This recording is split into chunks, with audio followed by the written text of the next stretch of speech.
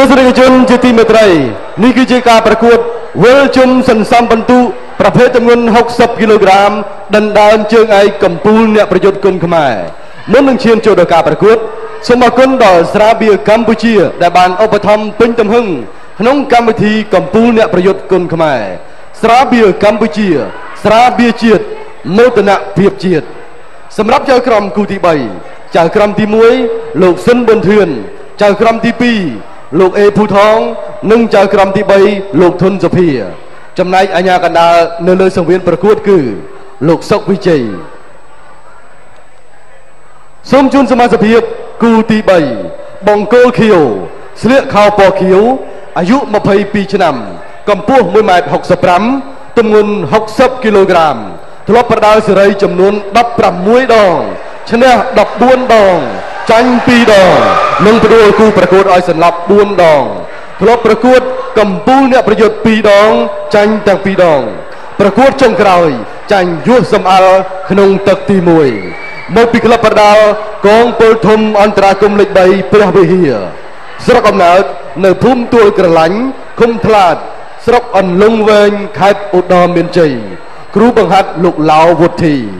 លោកលោកស្រីនាងកញ្ញាសូមស្វាគមន៍កម្ពុជាអ្នកប្រយុទ្ធខេត្តសៀមរាបនៃក្លឹបកងពលធំអន្តរកម្មលេខ3ព្រះវិហារចាន់សំអាយ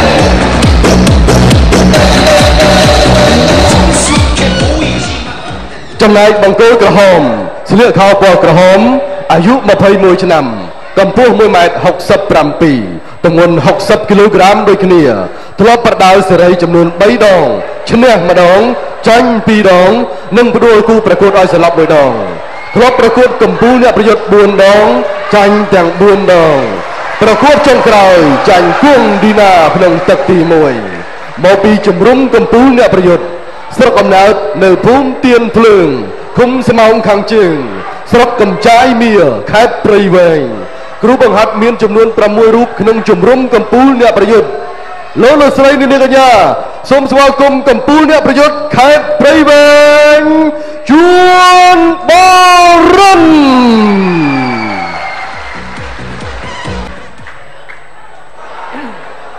ទាំងសម្រាប់បច្ចុប្បន្នណា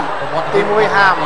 ហាមដៃចង្កត់លើកតែជាកីឡាករទេក៏ប៉ុន្តែអ្នកទាំងពីរក៏រំបានល្អបាទអញ្ចឹងយើងដួលអត់មានយកទៅខ្លួនទៅទេអូខេលោកអាញាកណ្ដាលពុទ្ធប្រាប់ពីលក្ខណៈនៃការប្រកួតដល់អ្នកទាំងពីរខោដែរខោដែរបាទសូមជើញទស្សនាការប្រកួតទឹកទី1ដូចតទៅបាទបង្គោលខៀវគឺកីឡាករច័ន្ទសំអាតបាទបង្គោលក្រហមជួនបូរិនបាទដើរចូលវាយគ្នាទៅវិញទៅមក បាទពីប្រកួតកន្លងមកហើយដែលកីឡាករបង្គោលខៀវសំអាតបាទចាញ់ទាំងពីរប្រកួតព្រោះថាប៉ះសិតតែអ្នកខ្លាំងខ្លាំងម្ដងនេះបាទអ្នក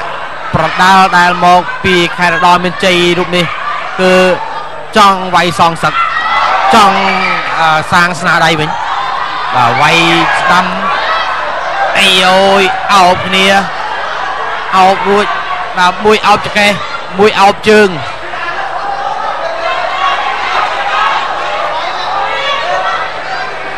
បាទអោបគ្នាទៅវិញទៅមក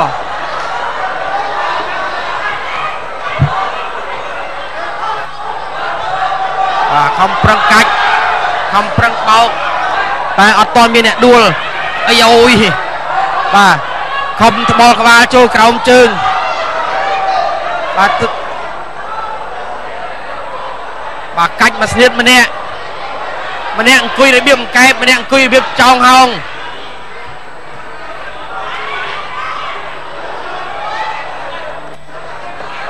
បាទមួយចង់លីអាយអូយបាទក្បាច់ចាប់បបោកបែបនេះដូចណែធ្លាប់ឃើញទេបាទឥឡូវតែឃើញផ្ទាល់បាទចាប់ប្រែបានហើយកំពុងតែពើពីលើបាទស្មាតបាទក៏ប៉ុន្តែបូរិនបាទក៏ខំប្រឹងការពារខ្លួនផងដែរ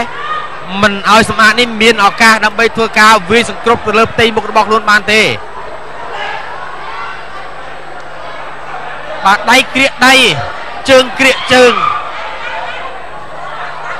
បាទដងខ្លួនខំពិតគ្នាទៅវិញទៅមកកុំឲ្យថ្វេសប្រហែស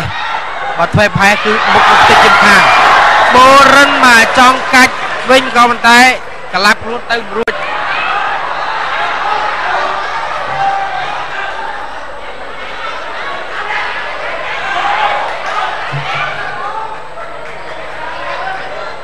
យបាទវាយវាយបាទពីក្រោមពីលើចរក្រោមបាទការរុះរបស់បូរិនក៏ទៅអត់រួចអាសាប់ជប់ទីមុខសាប់ជប់ទីមុខសាប់ជប់ទីមុខរបស់បូរិនបូរិនកំបិតបិទយកជើងកែវអារើរួចកំតែបាទការវាយសង្គមគ្រាកើតមានឡើងហើយពេលនេះ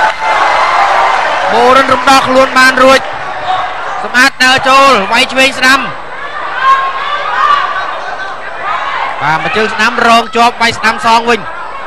ដល់ចូលវាយឆ្វេងស្ដាំថែមទៀតបាទវាយឆ្វេងវាយស្ដាំបាទកវាសដៃពីក្រោយដៃបុរិនបុរិនដកខ្លួនតើក្រោយតិចសំកម្លាំងបាទវាយឆ្វេងស្ដាំវាយស្ដាំឆ្វេងបាទឆ្វេងម្ដាយចូលមុខចាប់គ្រាកកឲ្យជង្គង់ បាទបុរិនហើយដូចជាថមថយកម្លាំងទីមកក្នុងទឹកទី1លើព្យាយាមចាប់កាច់បាទនៅពីក្រោមសម្អាតទៀតហើយសម្អាតវាយតប់ចូលមុខវាយមុខអត់បានវាយក្បាលវាយចូលគុំតិចអីអូយឡើងសោះតិចទៀតហើយបាទម្ដាយម្ដាយទៅសូមងើងក្រមតែមិនតិចដែរការប្រកួតនឹងបញ្ចប់ក្នុងទឹកទី1អង្គុយសម្រាប់មកទទួលកម្លាំងមកវិញ ក៏តែថាបើទ្រាំរួចទេមានអាគោះតាបចោះចាញ់ទៅមានបានណាបាទវាយស្ដាំចូលមានបានណាបាល់បានទេលោកញ៉ាកដាកំពុងតែមើលអាការៈរបស់បុរិនថាស៊ូបានឬក៏បានបើស៊ូមិនបានទេលោកញ៉ាកដានឹងបញ្ចប់ការប្រកួតនេះដល់ប៉ុន្តែបុរិននៅមានស្មារតីឡើយគឺជើងប៉ះជ្រងឡើងទៅខាងលើបាទវាយវាយដែរទៀតវាយទៀតវាយទៀត